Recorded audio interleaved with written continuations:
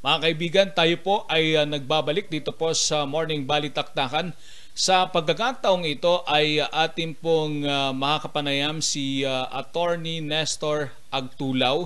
Siya po ngayon ay uh, kasalukuyang nasa Notre Dame Hospital at kanya pong uh, binabantayan ng kanyang uh, fiancé na meron pong uh, matinding karamdaman. At uh, bago pong lahat, papasukin po natin, makakausap po natin uh, sa pamagitan po ng VMix call si Attorney Nestor Agtulaw. Sir, magandang magandang umaga po. Magandang umaga, Sir Dobby. Uh, yun nga, andito ako sa Notre Dame Hospital. Mm-hmm. Okay. Sir? At, uh, yes, sir. Go ahead po. Go ahead po. Ayun nga, uh, si fiancé ko, si Miss Lady Lynn Bernardo Vascos ay may autoimmune encephalitis. It's a very, uh, hindi siya rare disease, pero na-feature na siya sa series sa maraming libro at maraming uh, pelikula, yung sakit na ito at tinatamaan madalas ang mga babae ages 25 to 30 ayon sa mga nababasa ko. Mm-hmm. Okay, ano ho ba base po sa inyong uh, experience attorney, yung pong naobserbahan po ninyo sa inyong uh, uh, kasintahan, uh, ano ho yung uh, nakita po ninyong sintomas kung paano po nag-umpisa itong uh, sakit na ito? Okay, uh, sab, sabi ng author na isang uh, na survivor din ng kasong ito, at uh, tinatawag niya itong great pretender dahil uh, it's uh, nagsisimula siya na parang psychiatric problem Like, una, nagiging paranoid, nakakalimot, tapos nagkakaroon ng hallucinations, tapos nagsisimula ng manghina ang mga binti.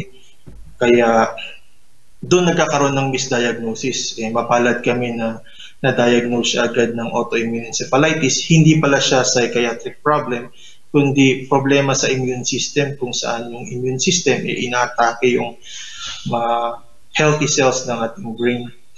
Mm-hmm. Attorney, I understand uh, si ma'am ay matagal na pong naka-confine sa uh, Notre Dame.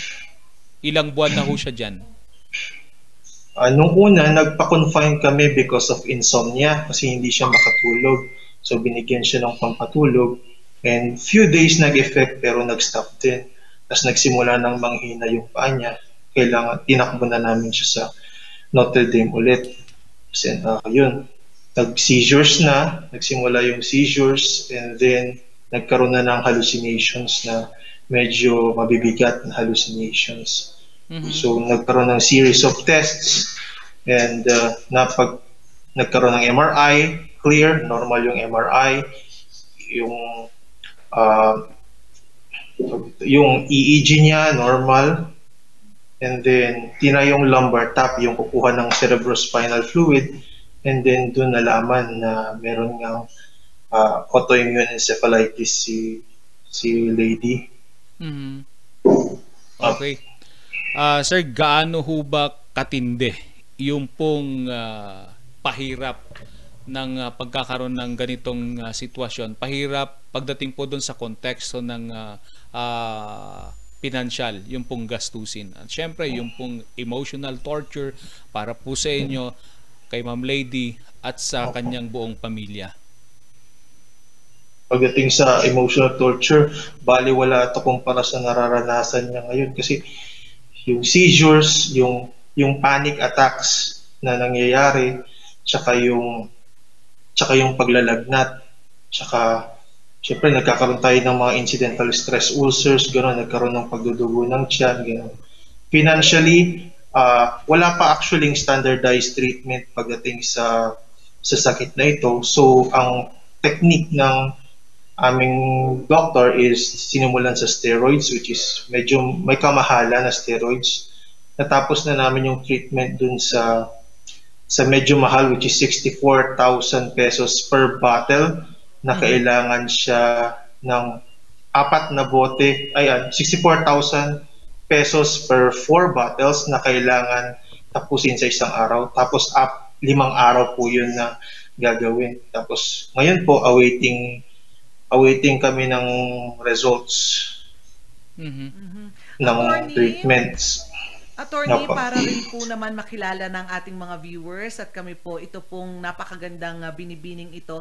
Ano po ang ah, dating trabaho, ano pong pinagkakaabalahan ni Ma'am Lady noon bago po siya ma-ospital? Ah, si Ma'am Lady ngayon ay si Lady Lynn, nag-ano siya, nagre-review siya for the bar exam.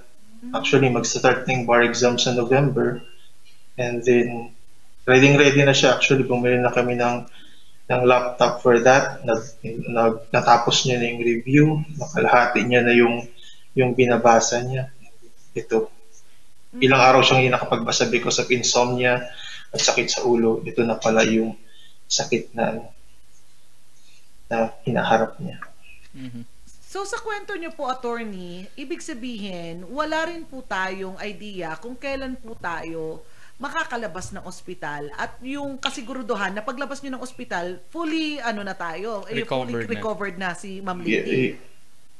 yes, wala wala tayong kasiguro yan. Ayun, ayon kay Dr. Hiadan, the doctor, the neurologist, meron na siyang past experiences sa ganitong sakit. It's it's dubbed as a rare disease pero it's actually a very common disease pagdating sa mga babae na nasa ganitong edad according to him.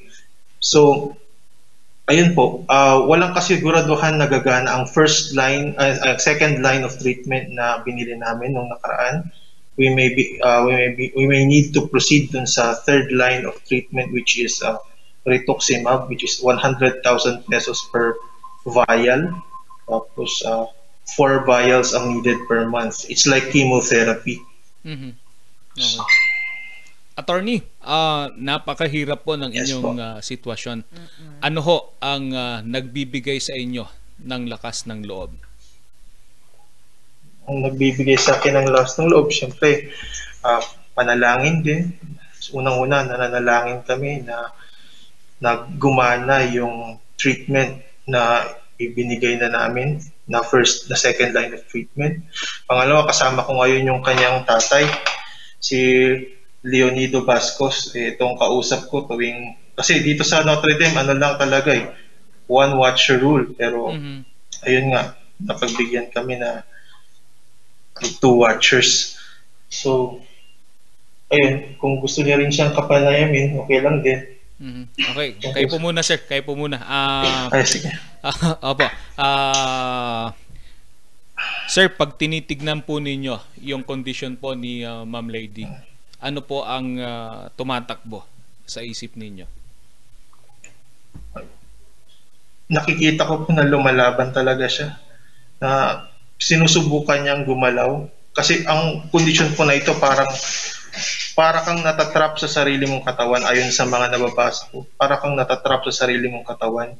Gusto mong igalaw yung bunganga mo, gusto mong igalaw yung yung paa mo, pero hindi, hindi mo maigagalaw talaga kasi ayun nga inaatake na ng immune system yung yung pag- yung yung brain mo. Mhm. Opo. So, so ayun, Yes, na- napakahirap po talaga ng inyong sitwasyon ano, attorney. Okay. Para para po sa gusto rin po namin mithiin rin po talaga namin dito po sa RNG Luzon sa Morning Balitaktakan na kami nga po maging tulay sa mga katulad nyo po na talaga matindi ang pinagdadaanan. Paano po makakatulong naman ang mga nanonood sa atin sa inyo pong ah, kalagayan ngayon? uh, syempre, unang-una, um, uh, kung meron kayong mapapag, uh, mapapag, kung pwede kayong magbigay ng guarantee letter sa hospital for the hospital bills, tumatanggap din kami ng donation na yung information binigay ko po kay Sir Dobby. Mhm. At Opo, nandyan po yung information ng pwedeng pagbigyan ng donation. And uh, finally, uh, tumulong din po tayo para ma-spread ang awareness sa ganitong sakit kasi it's often misdiagnosed as a psychiatric disorder and uh, mara- marami ring nagsasuffer sa sa misdiagnosis. I know uh, the mental health right now is all the hype pagdating sa pag-push natin sa Congress. We are all for mental health, but this this particular disease is not a mental health issue. Uh, kailangan siyang malaman agad na clinical issue siya and then yun nga, ma-undergo ng proper treatment. Okay. Attorney, So- opo. Go ahead sir. Sorry po, sorry, sorry.